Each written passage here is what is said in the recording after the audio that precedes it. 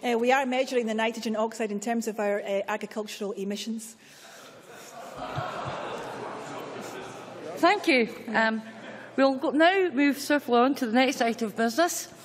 It is consideration of motion number 13384 in the name of Liam McArthur on the appointment of a member of the Standards Commission for Scotland.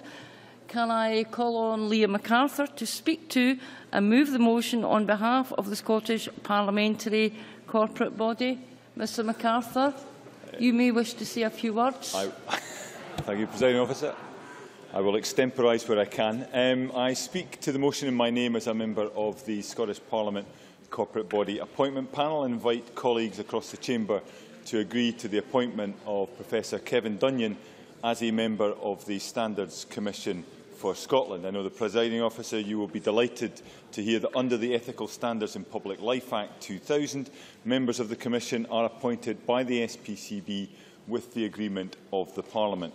The role of the Standards Commission is to encourage high ethical standards in public life, and it does this by promoting and enforcing the codes of conduct for councillors and members of devolved public bodies. The SPCB sat as a selection panel on 13th of May this year. The members of the panel were John Pentland, Liz Smith and myself, and from a very strong field of candidates uh, we are seeking the agreement of the Parliament this afternoon to appoint Professor Dunion as the member of the Standards Commission. On behalf of the SPCB, I would like to thank Louise Rose, the independent assessor.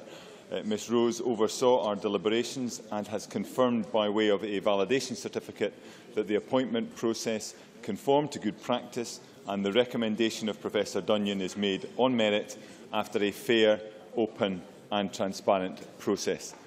Turning to the candidate, we believe that Professor uh, Dunion will bring to the post high levels of integrity and discretion, as well as a strong commitment to encouraging high ethical standards in public life. I am sure that the Parliament will want to join me in wishing Professor Dunion every success in his new role.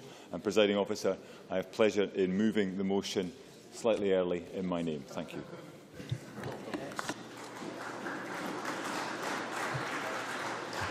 Mr McArthur, a truly valiant effort.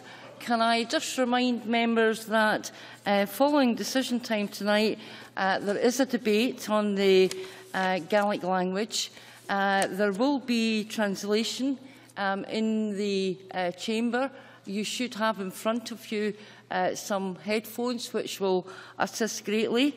Um, Angus MacDonald will be um, speaking to the members' debate motion on the 10th anniversary of the Gaelic Languages Scotland Act 2005 and understand that a number of members are going to be speaking at least part of their speech um, in Gaelic, so we certainly look forward to that.